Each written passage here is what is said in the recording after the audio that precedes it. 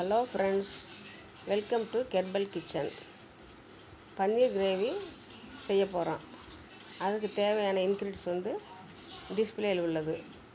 Stove on பண்ணி ரெண்டு spoon நெய் விட்டுக்கோங்க. அதில் நறுக்கி வைத்துள்ள வெங்காய துண்டுகளை சேர்த்து வெங்காயம் சீக்கிரம் வருவதற்காகப்பா கொஞ்சம் சால்ட்டு சேர்த்துக்கொண்டு நன்கு வதக்கவும். வெங்காயம் பொன்னிறமாகும் வரை வதக்கி கொண்டே இருக்கவும்.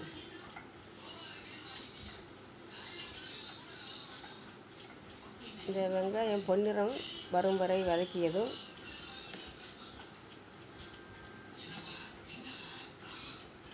உரித்த பூண்டு பொருட்களை சேர்த்து கிளறி அதில் நறுக்கிய தக்காளி தண்டுகளையும் சேர்த்து நன்கு வதக்கவும்.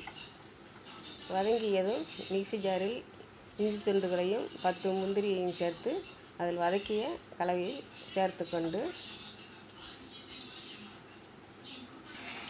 விழுதாக அரைத்து எடுத்துக்கொள்ளலாம் அதே பேனில் மூணு ஸ்பூன் ஆயில் விட்டு நாலு கிராம்பு ஒரு இஞ்சி துண்டு பட்டையை சேர்த்துக்கோங்கப்பா.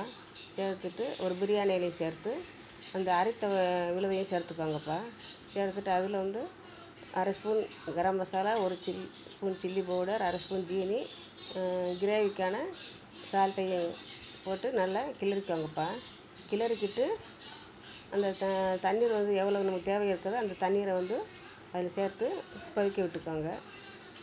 கொதியதும் இந்த பன்னீர் துண்டுகளை நம்ம கட் பண்ணி எடுத்துக்கொண்டு அந்த கலையை வற்றியதும் அதில் சேர்த்து ஒரு ரெண்டு மூணு நிமிடம் கொதிக்க விடவும் கொதி வெட்டியதும் கிரேவி தயாராகிட்டது நம்ம இந்த டிசை சப்பாத்தி பூரி இட்லி தோசை எதற்காகவும் எடுத்துக்கொண்டு பரிமாறிக்கொள்ளலாம்.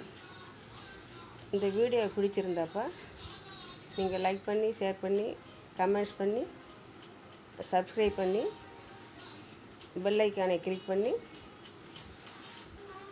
மிக்க நன்றி